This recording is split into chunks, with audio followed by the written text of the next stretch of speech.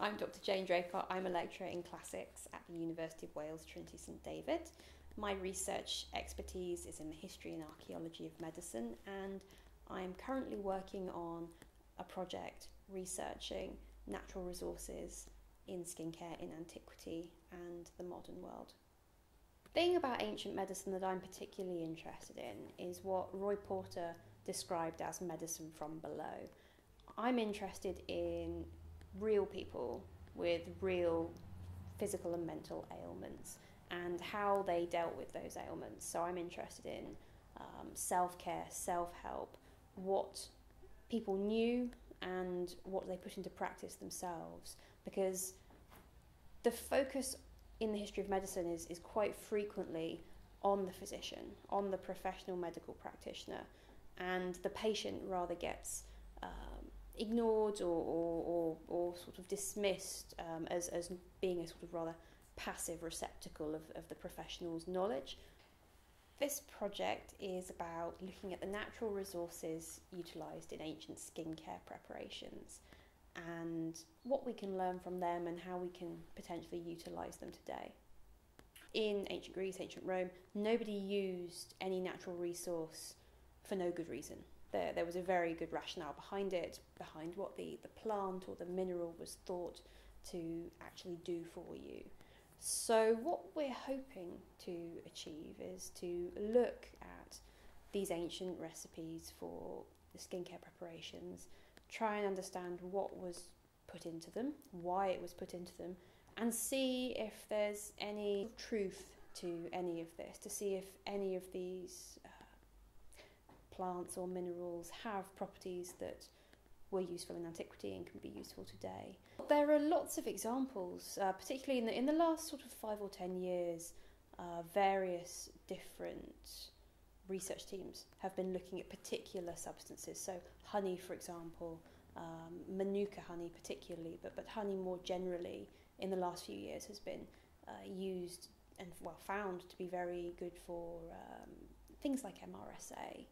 Um, onion and garlic recently, um, ancient Anglo Saxon remedies containing those things have been found to be effective as well. So, yes, there's a lot of interest in modern contemporary scientists looking at ancient well substances that were that were used at various points in, in the past to see um, if there is something to it and if we can if we can sort of find that. So we're we're looking at things used specifically for skincare rather than more generally.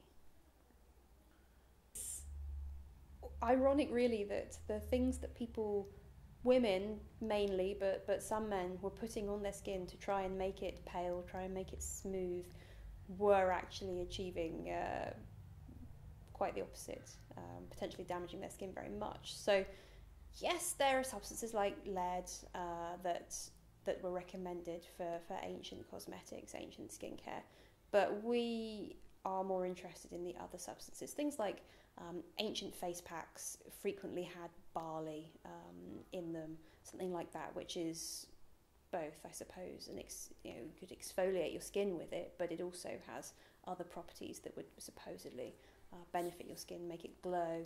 Um, things like animal fats as well, um, they would moisturize um, plants too, uh, roses, for example.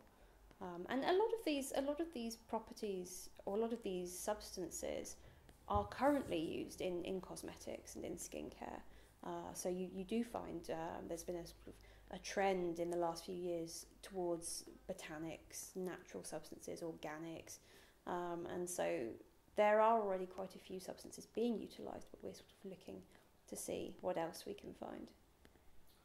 The, the academic research into ancient recipes and the scientific analysis of the substances and, and ancient ancient products that survive in, in containers. That's only one part of the project. Another part is looking at how these products have been packaged and marketed as well. Um, so we're working with the Boots Archive and the Royal Pharmaceutical Society Library and Museum to have a look at, particularly the, the 18th and 19th centuries, early 20th as well, to see how skincare was marketed, how, how the ancient world and the idea of ancient wisdom and, and ancient beauty, how that was utilised to try and sell products. So yes, there there will be opportunities uh, to to delve into archives and museum collections of the more recent past as well as the ancient past.